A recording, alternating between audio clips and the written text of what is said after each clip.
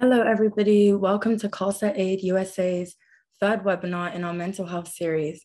Thank you so much for being here with us today. We're very excited to have an incredible group of panelists for this much needed discussion on coping with stress and anxiety. Before introducing our panelists, I'd like to inform you of the setup for today's webinar.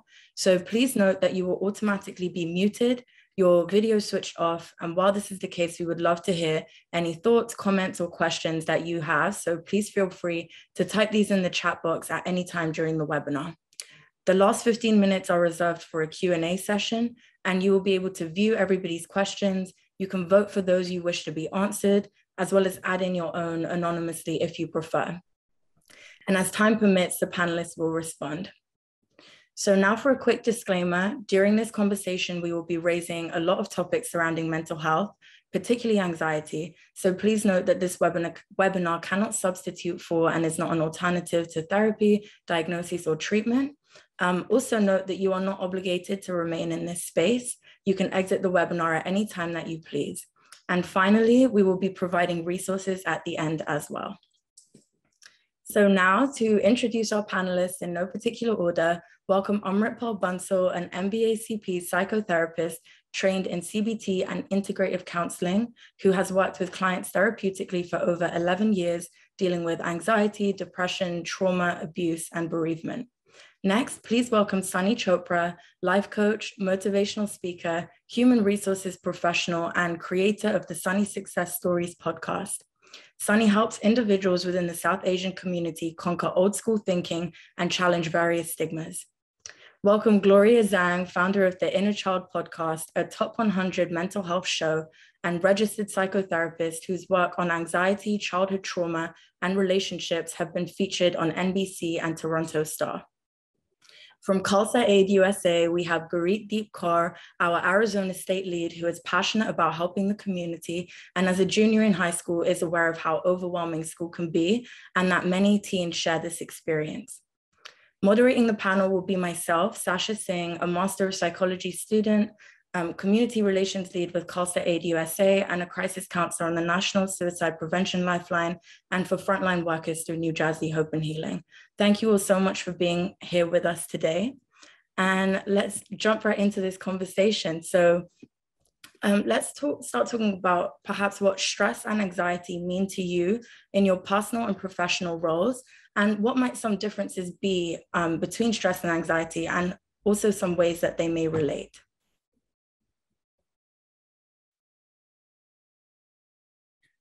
I can go first. Uh, at the top of my head, I would say stress. I, I guess you could do it in the personal sense, professional sense.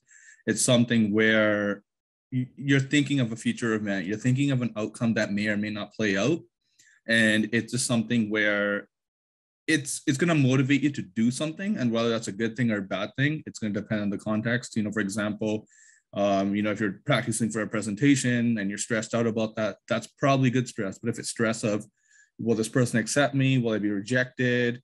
Um, you know, I don't, I don't think I can, I'm not happy with my life, whatever, like all those kind of things. That's the stress where it's a little more uh, difficult, generally speaking. And I say anxiety is just, it's a more amplified version of stress and it's more uh, flight or flight. Actually, to add on to that, actually, I agree with what Sunny is saying about it. It can be seen as a positive or a negative. I think if I look at it professionally from my work side, objectively initially, you can, well, find it hard to distinguish between the differences because from the outside, it can appear that they both lead to excessive worry and an inability to focus, feeling irritable. And I have had clients say they're experiencing sleepless nights and exhaustion even the physical symptoms experienced, such as your heart beating faster, headaches, stomach feeling unsettled, muscle tension, those experiences can affect both people experiencing stress and those in having an anxiety disorder or concern. The symptoms can seem interchangeable. Um, what I would have a say to add on to even Sunny's thing is that with stress, it's a response to perceived threat in any given situation. It's a basically a reaction to a demand or a trigger that is placed on your mind or body. Whilst anxiety, I guess you could define it as a feeling of uneasiness, worry, or even fear It can be diagnosed as an ongoing mental health concern that can be a reaction to a particular stressful event or triggered by various stresses in an individual's life. However, sometimes with anxiety, those stresses aren't initially identifiable. So, for example, I can have people come to me saying that I don't know exactly what's causing it, but that feeling or that emotion can lead to difficulties in various occupational, social, or personal settings. I'm just going to piggyback off of my panelists here. Thank you, Sasha, for the wonderful introduction. And I just want to say that stress and anxiety can feel very uncomfortable, but um, from a mental health perspective, just as um, our fellow panelists said, they're nothing to be afraid of. These are very natural human emotions. And it's really just a way of your body letting you know that uh, something is not right or something is misaligned and um, that it's really important for us to honor and listen to those feelings not as a bad thing but it's actually a very good thing that your body is is uh, telling you that something is off. Um, i feel everything is covered on what exactly stress and anxiety is but going off them it looks very like you know different in a school situation rather than you know professional role. For example for a school role it's like mostly based on testing and especially like for seniors applying for college hey what are we going to apply to? Are we going to get in a resume forming all of those things? And like especially parents expectations add on a lot especially if you belong to like you know the indian community they have a lot of expectations.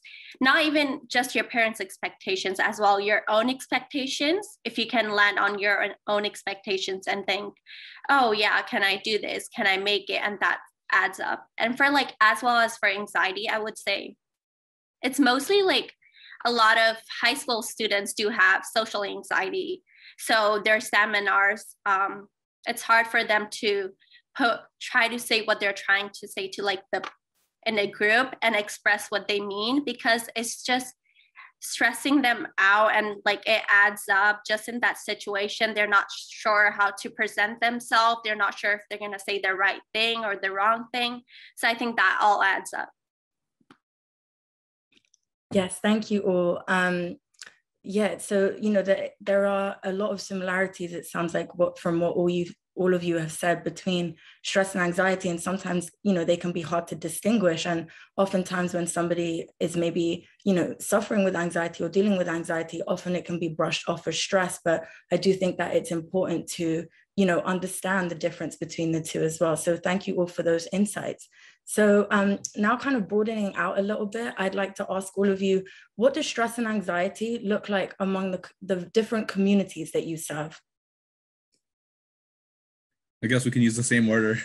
Uh, I, I feel like, uh, especially because I, I do service the South Asian community in particular, uh, I, I think uh, the the way stress is, it's very like like like it was brought up that it's something that's a good thing. It's something that we should be listening to. I feel like in the South Asian community, it's something that's just brushed off and something you're told that hey, it's okay, you know, use something temporary to fix it, whether that be alcohol, drugs, uh, whether that be you know distracting yourself uh, working out like working out and doing things like that hanging out with friends those things are good. But if it's not solving your problem at the end of the day then it's not going to really it's just like an endless cycle. So i feel like in this that particular community stress is not something that is dealt with properly. And to add to that it could be taken out on others. You know if i have someone stressing me out um, in the workplace i might come home and take it out on my partner or my kids right? So it's not something that has a lot of, of awareness, uh, unfortunately, within within within the community.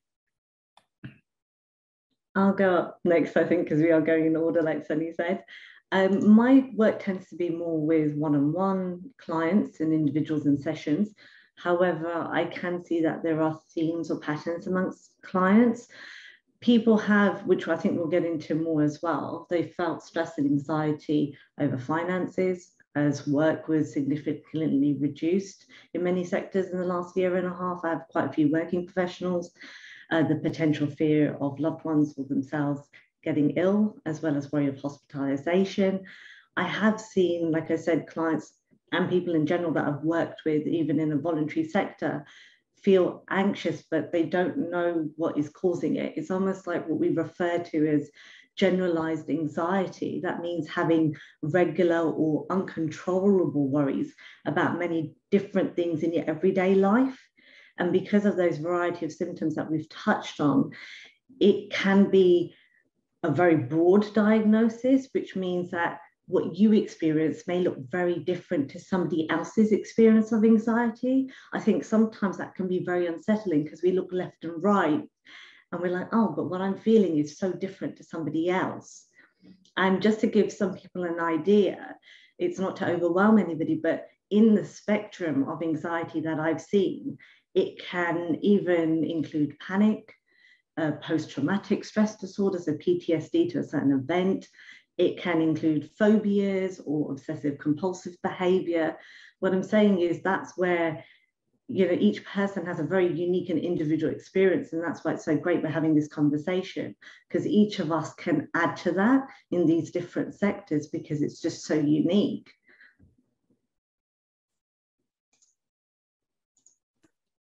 Thank you. So I specifically work uh, mostly with folks who are adults and who are looking to overcome traumas that they've experienced uh, when they were younger. So I do work with a lot of uh, folks in the BIPOC community. And I just want to say, first of all, that during this whole pandemic, I think all of us have experienced anxiety to some degree. And just kind of going off of today's theme is that there is for us to feel anxious about a worldwide pandemic is absolutely a normal response. All right, we are all navigating a brand new world together. We are all navigating something um, worldwide that we've never encountered before as a collective. And so you know in this sense the anxiety makes a lot of make, makes a complete sense uh, you know in to be completely honest. Um, i also work with a specific kind of anxiety that comes from social anxiety. And the the kind of anxiety that i work with is when someone feels like they're not allowed to be their real selves. And so they feel this uh, inconsistency between the kind of person that they are expected to be. And these are usually things that are picked up from childhood of that there are aspects of our personalities that we think are acceptable or unacceptable. And this kind of anxiety comes from putting on a performance or feeling like you have to perform as a perfect person or a well put, to- put together person and have having to hide your authentic self.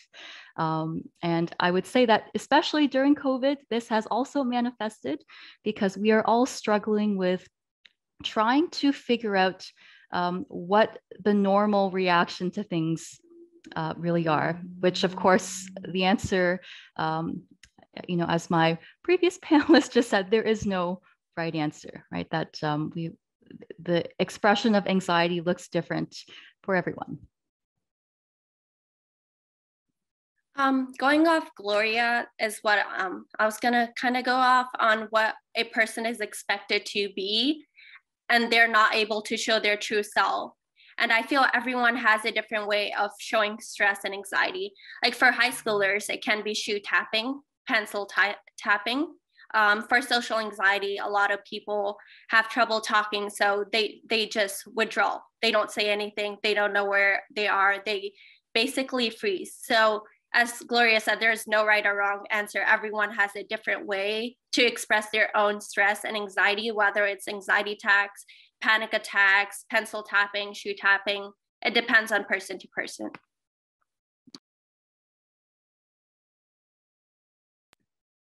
Yes, thank you all so much again um, for those insights. And I think it's such an important point that was brought up that there isn't really one type of way that stress and anxiety looks, even within you know certain communities. It's it really depends you know, some people in communities might have a bicultural identity, some might not, you know, depending on the extent of stigma in communities and things as well. And we will definitely be moving on to talk a little bit about stigma later on. But I also want to say that I think it's no surprise that in the question regarding community, um, COVID was brought up because, you know, we as a whole community have been severely affected by COVID. And, you know, so are as well um, currently. So um, following up from that, I want to ask, um, you know, what are some anticipated or perhaps already occurring feelings of stress and anxiety that might be brought about by returning to things like workplaces, social activities, and things like that, you know, in post and in the midst of this pandemic?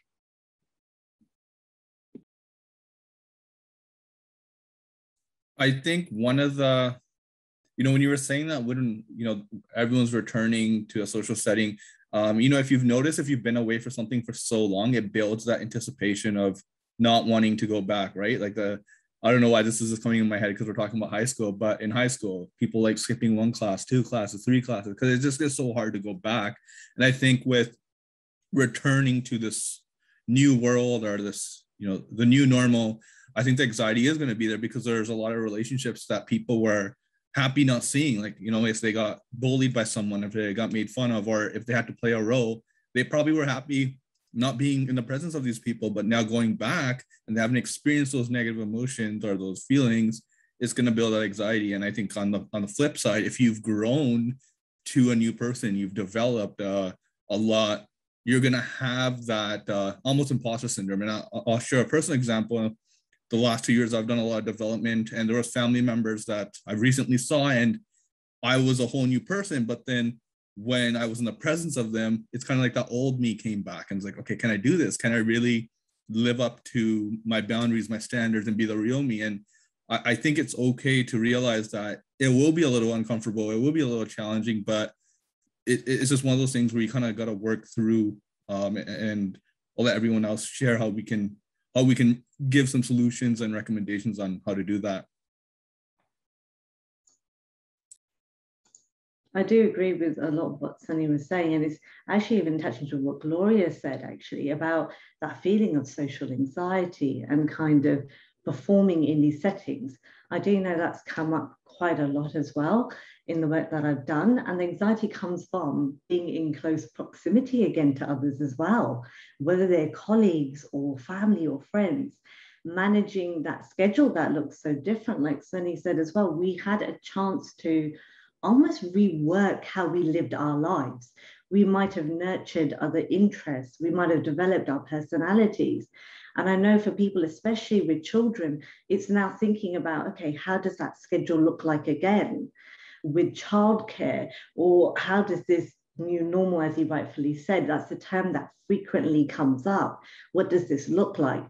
And the key thing here as well, that a lot of people I'm working with are saying, irrespective of culture, is about boundary setting. Essentially knowing, okay, what am I able to do or what am I not comfortable to do? What social activities am I comfortable saying yes or no to? I know being from a South Asian community, we say yes to everything. We say yes to the neighbor's garden party, wedding, I don't know, somebody opened a fridge. We do everything. But at this time, I think it's helped us to stop and acknowledge okay, what is my personal threshold? What am I feeling inside of myself? Of course, there's regulations and policies, and that may vary from wherever we all live. Um, however, in the UK, for example, the majority of our pandemic restrictions have been removed. So therefore, my clients are now working through a working plan of how are they going to manage this transitionary period, kind of the person who they were pre-pandemic to who they are now.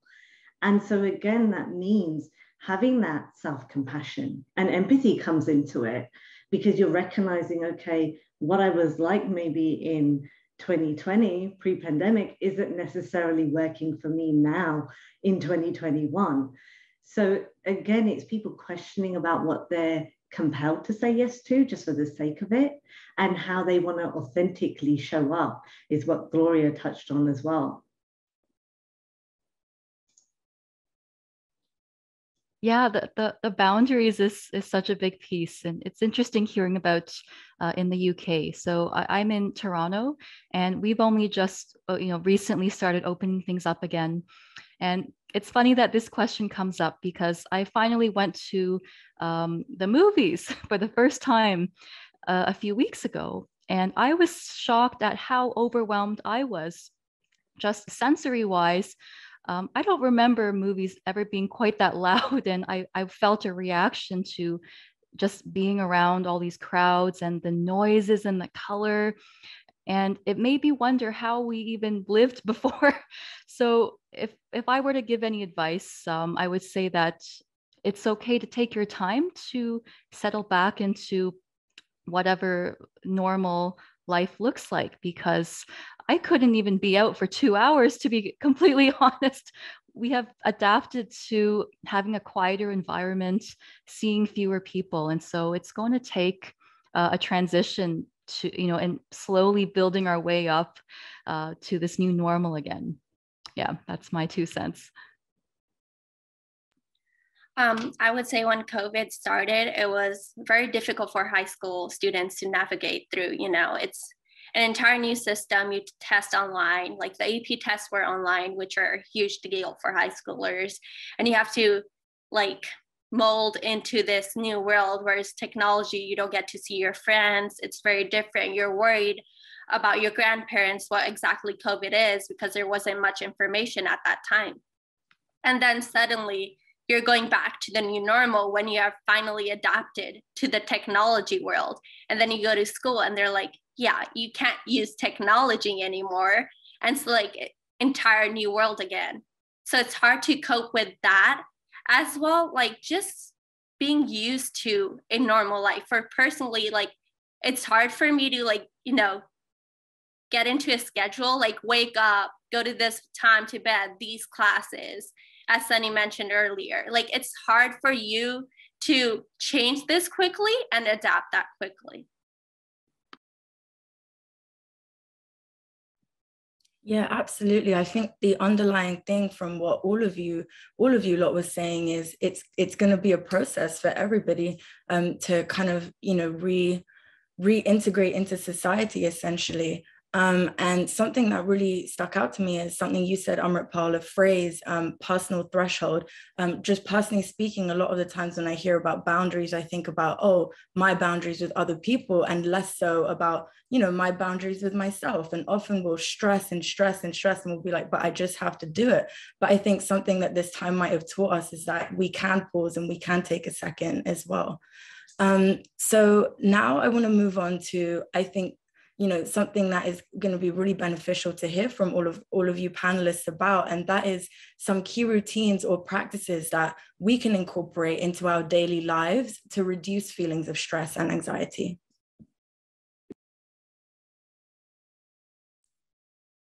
A lot of the, the things I personally do and I recommend my clients do is just um and it's going to depend so I'm, I'm just generally speaking um, is just sit with uh, sit with your thoughts, sit, sit with your emotions.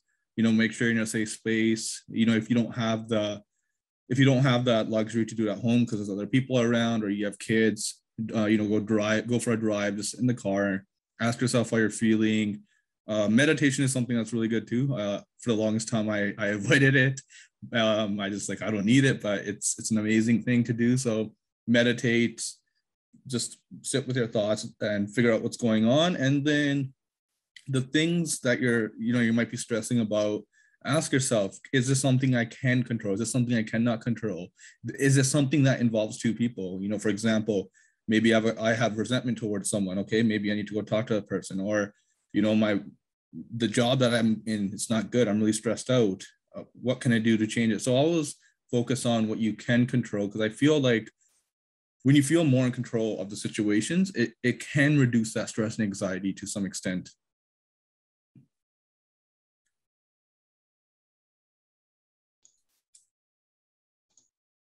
I would say obviously there's a combination of things that we can all try and I agree with Sunny, like there's a variety of things. It's almost like trial and testing sometimes.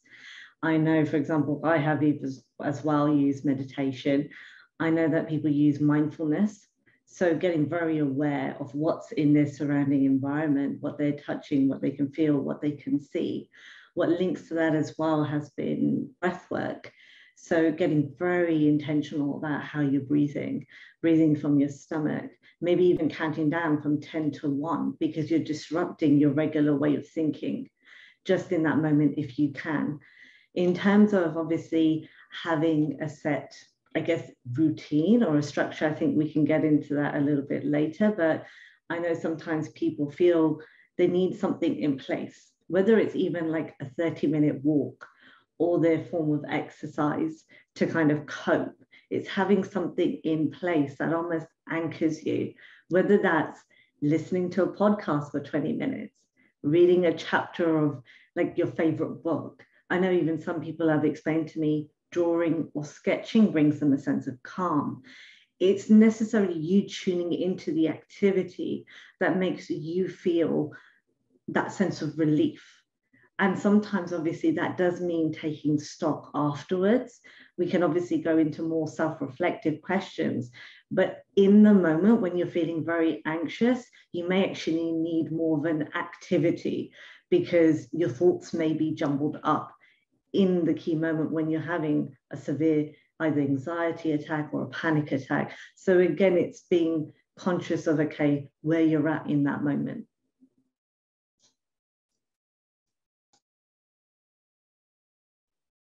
Yes, and just uh, picking back, back of piggybacking off of what you just said, uh, I don't necessarily believe that um, everyone should have just one routine because in that case, you're sort of following a formula and you're not really exercising the muscle of actually listening to your body and listening to what you need in that moment.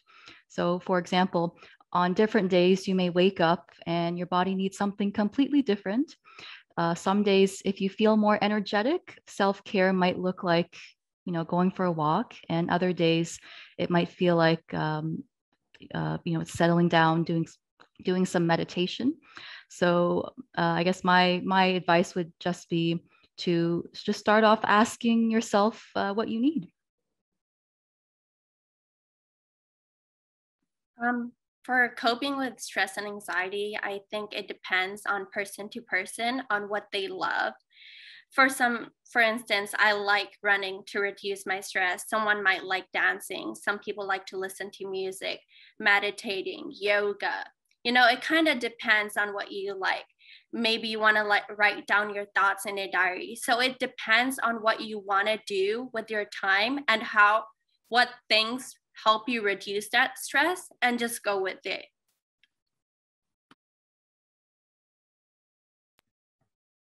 Yes, thank you. Thank you all so much for sharing those. Those are all, you know, really helpful. Um, and I really like, um, you know, the the comments that both Gurreet and Gloria you you made about, um, you know, kind of just going with the flow and listening to your body as well. Um, and so now I want to, we want to talk a little bit about um, shame and stigma. And, you know, a lot of these coping mechanisms as well might already exist in some of our communities, but there's still that stigma of, you know, we do these coping mechanisms, but nothing's really wrong or, you know, and things like that. So just to talk a little bit about um, how can we collectively and actively challenge stigmas you know whether these be cultural stigma age stigma gender-based stigmas and towards mental health struggles i think one of the biggest uh, stigmas and especially in the south asian community is um, for men in particular that they need to be strong they need to be dominant they need to be alpha males and that doesn't consist of them crying, them showing emotion. Um, and in my experience in working with the, my clients that I've had, one of the biggest obstacles is obviously the stigma in that, but they don't really have people to go to, or the people they've gone through, gone to, have made fun of them or said, you know, man it up, tough it up, or you know, multiple other swear words to them because they they're just like, you know, you you have to be a man, you have to do this, and then they kind of shut off on their own, and then they, you know, they it, they they turn violent. They have random outbursts because they're holding so many emotions in, and it just it comes out in the wrong way. So I think, um, you know, it, it, could be even eh, men, females, anyone really. I think in any community is your family, unfortunately, and your friends might not always be the right people to talk to. And I, I know when I say that, a lot of people don't like that statement, but you know, the best example I like to use is you know you wouldn't go to to your dad to play like if you could go if you wanted to learn how to play basketball, would you go to your dad or would you go to LeBron James? Right? Your dad is your family, yeah, but LeBron James is one of the best basketball players, right? So, sometimes it's okay to look out of our immediate circle for that help, for that guidance, right? And that's uh that's something I do. Like I've I've mentors that are not my friends, they're not my family, but but they really support me. And, and that's what I always tell my clients that the help is out there. Like this is a perfect example of it. You know, there's so many pe- good people on social media. There's uh counselors. There's there's so many different services. Like if you look at the right place to help is out there. Sometimes it might be within your family and your friend circle, but sometimes it won't be. And I think the other panelists can elaborate on that when when you need that really we need that professional help. You need to go to, you know, you got to take it to the next level and go to someone else. But in the beginning, you just gotta look outside your circle and really talk to people that will support you and listen to understand, not just to judge and say, um, one of the other common things I get is I'll have clients go to you know their cousins or friends and say I, I went through this breakup, and one of my clients told me that his cousin said it's okay. I went through a breakup too. It's, it was a year longer than yours, and I'm okay. You'll be okay too. And that's just you're basically walking over how that person felt, right? So make sure you you look outside your family and friends because sometimes they won't be able to help you out.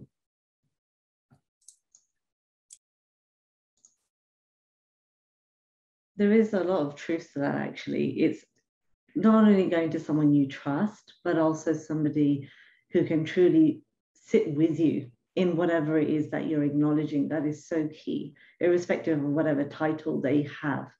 I think the shame or stigma comes into it when we start to think about what will other people think or how will others perceive us.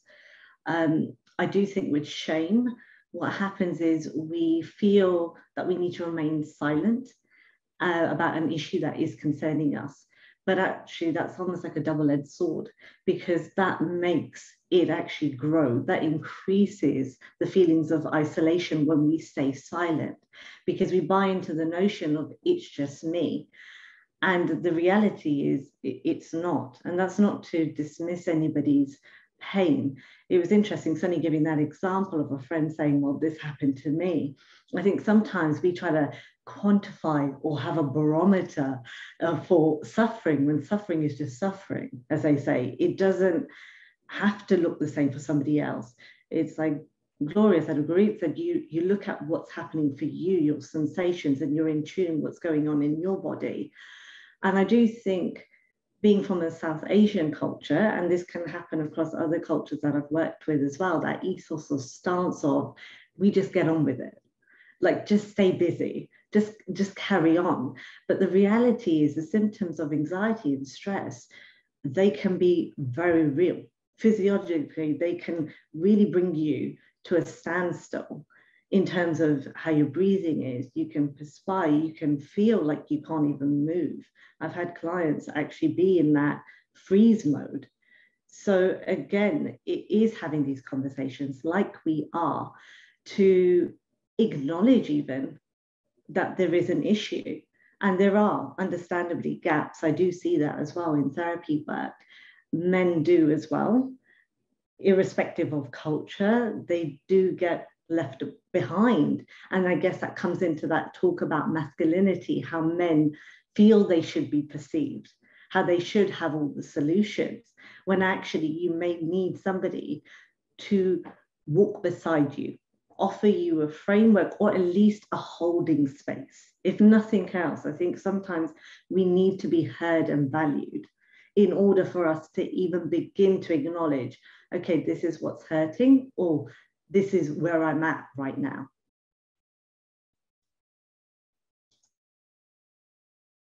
Yes, everything you all said is just on the ball around gender and uh, in the Asian community.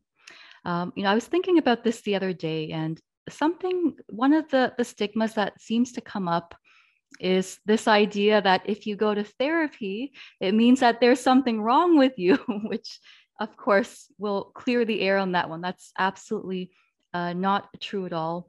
And the point of getting help for for your mental health isn't even to to fix you right that's that's not something anyone can do but it's helping you see things from a different perspective and helping you help yourself work through situations um, and so yeah I, I really hope that with events just like this one we can help shift our perspectives on mental health and we that, that we can see mental health just as normal as going to the doctor for a checkup, right? Or going to the dentist. It, it really is no difference.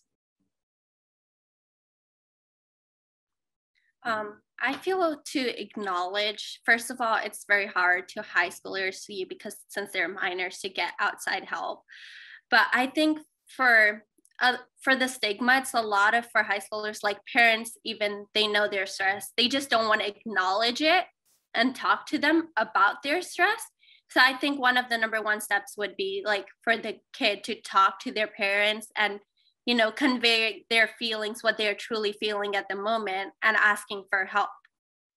If not like there are other technology like as sunny mentioned you can you know a lot of great instagram pages you can look around a lot of you know help to get around if not like friends and also like a lot of schools do have counseling. You can like you know go talk to the school. I mean it does take time to get there but there's definitely a thing for everyone from how they can like convey convey their feelings to others and cope with their stress i would say.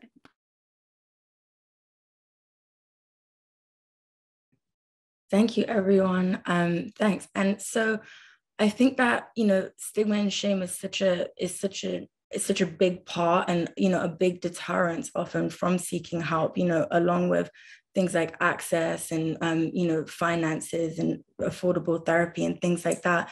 And i just you know this might be a bit of a difficult question and maybe even unanswerable really but i do want to throw out there if any of you panelists want to answer this is you know what um what might you do if um, what could one do if they were faced with um, you know a family member or a friend um, or just anyone in their community who they trusted um, who really wasn't able to give them the help that they need, what might you advise them to do?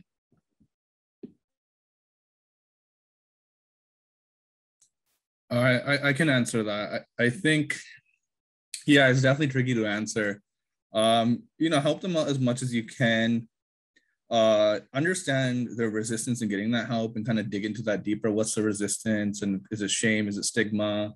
What's really going on and offer resources. But I do think there also is, if you do too much, it, it's almost has the opposite effect. So you got to be really, really careful. Um, it's it's one of those things. Again, it's going to depend on situation to situation. But I think when it comes down to it, the individual themselves has to have some level of willingness to wanna get that help, wanna get that change. So it, it, it's it's definitely tough, like I said, because you don't want to put the burden on yourself too much, but at the same time, you want to help them. So that's why I'm saying it depends situation to situation. But the key ingredient that is going to be needed is they have to have some kind of willingness to get some level of help.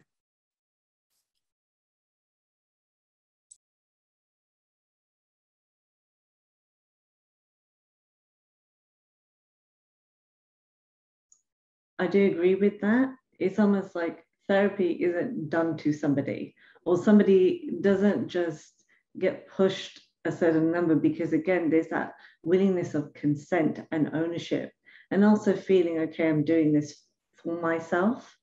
And in terms of obviously i'm trying to understand sasha what you meant by is it that the person isn't getting supported to get help or they're reluctant to get help? Um, i guess both really. I guess both could um, could be um, a situation. So if you could answer to both, that would that would be great. Okay, if somebody's reluctant to get help initially, obviously, if they're reluctant to get help, they may have not even discussed it with anybody. If there is anybody listening to this and you're at that stage, it doesn't have to be all or nothing. At the end of this, resources are going to be provided. There's helplines that are confidential. So you don't even have to give your name or specifics just see that as a first starting point and see how you feel with that. In terms of obviously, if you have people around you who aren't supportive about you getting help, of course, there's no denying that. I have had clients and other people come to me, and that's a very painful experience initially. But it's like even Gloria said, it's you're looking at it as much as okay, if you were bleeding somewhere physically, you would think to yourself, I need emergency assistance. I need to either go to a hospital or I need to go see a doctor. But we can dismiss our mental health because we can't see it. But it's almost like something bleeding on the inside. And what is a shame is that obviously, understandably, I do not take away from someone's reservations or fears. But what happens is people come to the point of crisis right at the end before they go for an intervention. So I'm hoping this webinar and this conversation allows somebody to think actually, let me take some preventative or initial measures rather than waiting until it's really severe and then really struggling to even ask for help then. It is normalizing even reaching out for help. It's okay.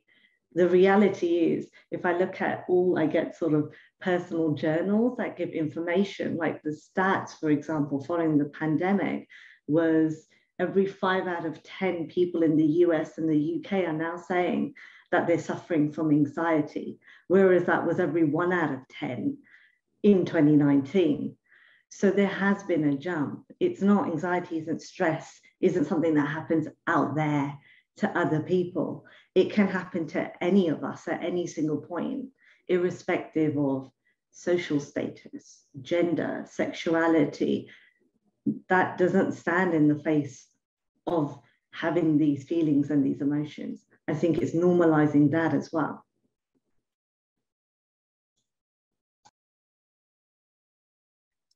I think the first question got answered very well. I have nothing to add. um, but for Sasha, your second question, I will also say that sometimes it can take a few tries before you find the right fit of someone to work with. And that's it's very normal. Um, and so, you know, for those who are perhaps looking for a counselor or therapist or a psychologist, um, a lot of people do offer a free consultation. I do, I do recommend, uh, you know, exploring your options and making sure that you actually feel comfortable talking to the person. And sometimes it's just not a right fit and it's not your fault or that person's fault. Sometimes you're just not vibing with the person. That's the best way I can describe it. Um, and that's completely okay. And it's it's okay to um, take your time to find someone that that you want to work with. I think that's what you asked. I'm not sure. Yeah, I think two really, um, you know, two really great takeaways from this conversation we've had about shame and stigma is one on a personal level, you know, kind of getting to that point of having, you know, one the the will to get help, and two also being in a place where you feel comfortable to be vulnerable enough to get help. And then another takeaway is, you know, the importance of somebody who you maybe care about or you love and who is in um you know in a state of anxiety or high stress is just you know not really telling them this is what you should do. This is the fix but more so you know sitting in the trenches with them and um, Gloria, I really like that you brought up, um, you know, a good point about um, finding a therapist and having, you know, those available to you. And I'd like to segue that into our next question about what are some resources that already exist within our communities that we can utilize to heal?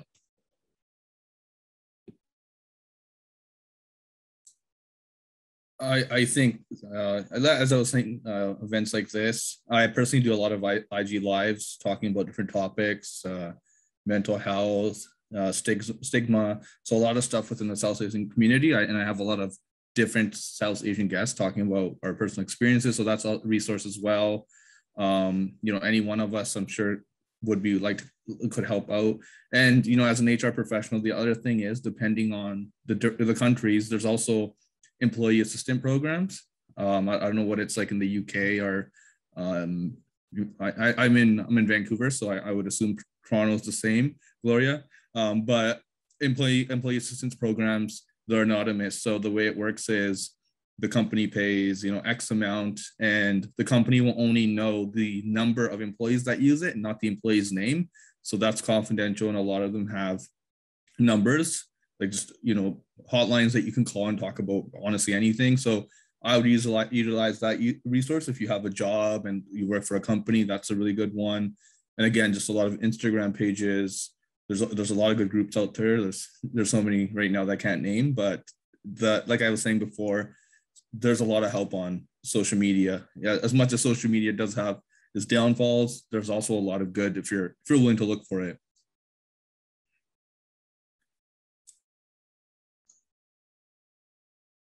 Yes, uh, add to that, obviously I can speak in line with the UK. Obviously Gloria may be able to give more about therapist directories there. We have obviously the BACP or the UKCP, which you can search for registered therapists. Again, rightfully Gloria said that you can have a free consultation to see how you feel your level of comfortability. There are also helplines, which I know will be shared at the end on a slide in the UK here as well as like the Sikh helpline. We also have Mind, the Samaritans, and I even do work for a nonprofit called Seek Forgiveness, where again, having these kind of conversations, things that where there is certain, dare I say it, taboos or stigmas or conversations that people are reluctant to have. I know that the fact of with university students that I've worked with, usually there are help centers, online counseling services there. So I guess in whatever remit you are, this is, I guess, the benefit of search engines and social media that sometimes does get flagged, but if you do that search, you can get those. Because again, we have to be realistic. Sometimes everybody's finances and situation does look different. Some people can't afford private therapy. Sometimes here we have the National Health Service, yes, there's GPs, there's a waiting list. So sometimes helplines are your easiest resource depending on where you're at. So I never want to just say there's one way of getting help for somebody because I appreciate everyone's personal circumstances who's listening to this webinar may vary according to that.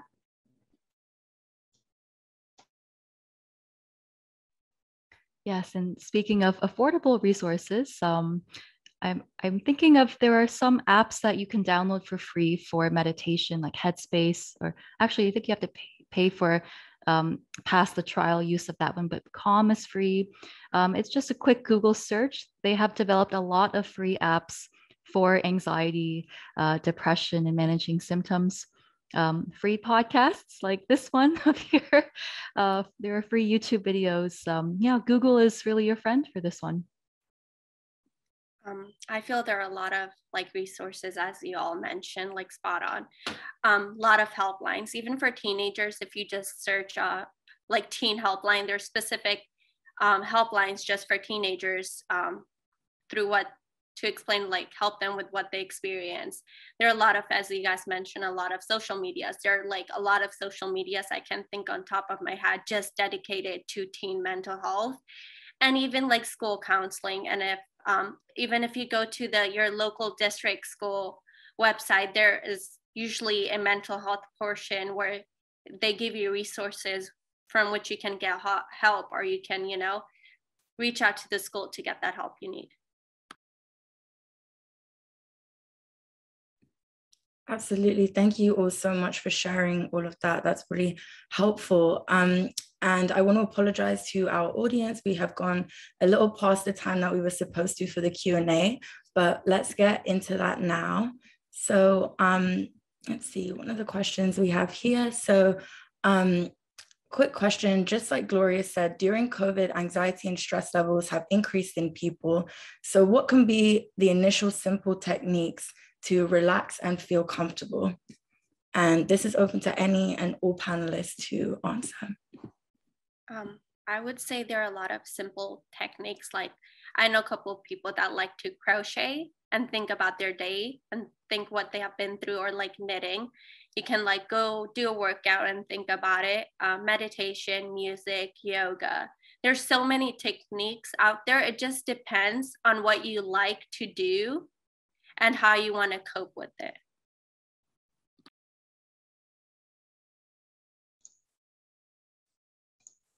I'd like to add if somebody needs, obviously, there's journaling as well, free journaling. To kind of explain that, it's actually based on the work of James Pennebaker.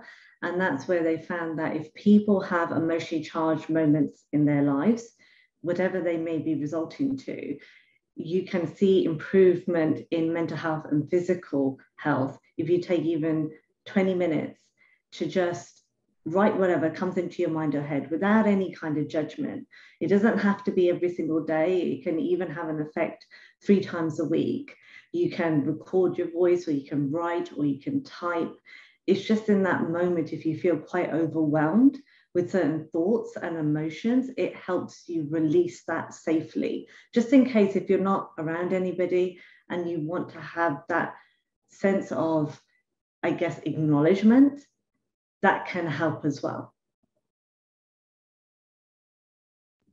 Thank you. Thank you both for your answers. Um, we're just going to share as well um, a resources slide now as well. So please feel free to take pictures of this um, slide, screenshots, whatever you may please.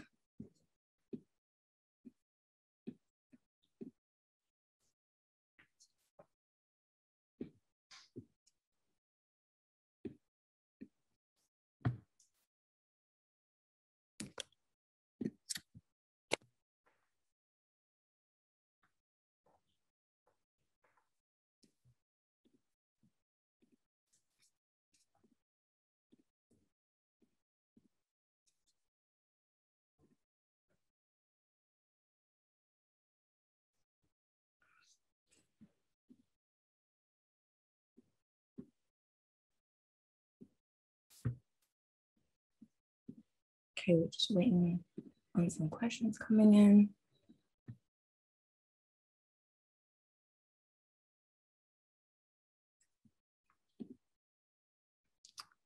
So we have a question here asking um, some what coping skills um, maybe have stuck out to you in particular that you may personally implement in your lives? Um, the personal things I do is a lot of, um, I like running. So I just like to listen to music while I'm on my run and try to think throughout the stress and the anxiety I have throughout the day, whether it's testing or presentation the next day. So it's just like taking, rather than working through it, just taking a little time off and trying a technique that personally helps you, like for me instead of running, and then coming back to it really helps me. I thought I'd sort of piggyback off that. Even for me, physical activity as well really helps me to cope. Definitely this last year and a half, even if it meant I was walking or because sometimes the gyms were closed, I think getting out in an open space can help you feel more grounded and more centered. But to kind of refer back to what both Gloria and Gurreet had said, is also looking what my body needs. I've become better at that. So if I, even means like an Epsom salt bath, so be it. There's not a kind of prescribed method. It's actually really tuning in to, okay, this is what I'm experiencing. Okay, what do I need? Sometimes let's say for it is, even if it's a nap, you might need just a 30 minute, just time out. Sometimes it can feel so overwhelming. So I think, again, it's taking some of these things that we've spoken about today and almost having like this toolbox. That's how I see it. I've got that too. Everything that the panelists have mentioned, if I feel on a given day that's what I need, I might pick some of that. It's like even meditation. I have um, what's called the insight timer. And I just find them so calming because they're spoken word meditations. So I just relax with that. It's such soothing music and words, and some of them are directed towards anxiety and stress. So if you need something else to follow or you have difficulty sleeping, that really does actually work. So it's worth trying that as well. I love Epsom salt baths too. They're really relaxing. Um, me personally, I like doing uh, more of the reflective things at nighttime because it puts me to sleep. So it's not really the, the best way for me to start off my day. Um, I like to start off the day with um, you know, moving my body, just like um, you guys here, uh, you know, doing some exercise and then using more mindfulness to unwind at the end of the day to add to every uh, what everyone has said, I think another one uh, that's worked for me, and I'm still resistant to it at times, but I do have good people around me that probe me and can figure out what's going on. But just talking about it, honestly, just putting it out there and saying, you know, I'm scared, I, am I'm, I'm stressed out. It actually it feels really good inside. It's like some physical, you just get a better physical feeling. But then it's it's also kind of like you, you know, you see the monster in the dark, and you turn the light on, and you realize the monster's not as intimidating as you thought it was.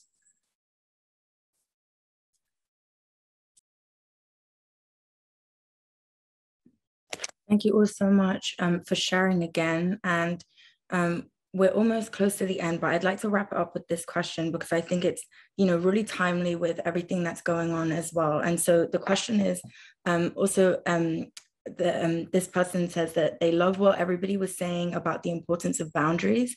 And do you have any tips on how to communicate boundaries when that's something that typically typically causes stress and anxiety? I can, yeah, I can yeah, I can talk about that. And that's that's actually one of like the main things that I offer in my coaching program is building those boundaries. Is uh, it really comes down to what your you know what your values are, why you feel a certain way, right? So if you if you feel that someone treats you, someone's really disrespectful to you, talking about it for a first time is going to be probably difficult. But you also got to look at you got to kind of future project and look at what will happen if I don't have this conversation. What will happen if I don't stand up for myself, right? And I think if you're if you're talking to someone for the first time where you've never stood up to them before, they're almost going to get offended that you're standing up for yourself. Um, and just know that sometimes it's okay. Like it's going to be uncomfortable. It's, it's going to feel a little little difficult because it's almost like you're you're going out of your comfort zone, but you're also you're standing up for yourself you're building those boundaries so i mean the easiest way is the actual conversation itself i always say is you don't have to be confrontational you don't have to swear or yell at them you just say approach it from the side of this is instead of saying you know i don't like how you disrespect me or you know you're a rude person you're you know you're, you're a jerk instead say what you've what you've been doing or what you have been saying this is how it makes me feel and then it puts that person in that uh, it, it takes kind of their guard off.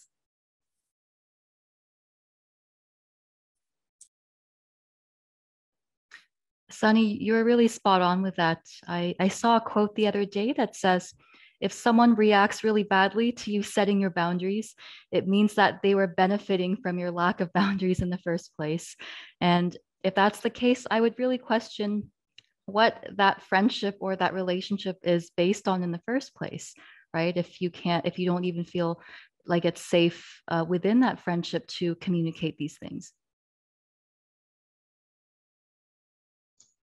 I completely agree with what both of the panelists said there and it is very much i feel when it's also just acknowledging again what is going on for you. I know that one of the boundaries that actually has been coming a lot, a lot for clients are declining events or declining invitations. So a key thing that sometimes people are now saying is, thank you for thinking of me. However, I will not be able to attend. Usually, sometimes we think that a boundary, we need to give a justification. You don't. Obviously you're right like sunny said there is going to be a pushback at times because sometimes people are used to you showing up a certain way or they perceive you to want to play a certain role. And it is going to feel uncomfortable but at times you can just be used to having a short statement or a sentence. Even if you have to write it down in front of you you know take some baby steps because it can feel a real jump depending on the dynamic that you have in place with a particular person. But it is standing sort of firm in that boundary. It may mean you reinstating a certain boundary that is actually not an attack on the other person, but it's you respecting and working in line with what feels authentic and true to you.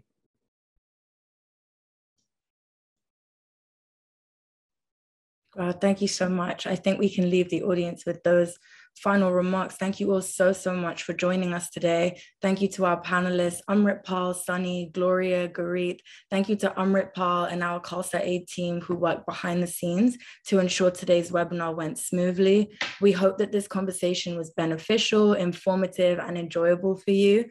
And stay tuned for our upcoming mental health webinars.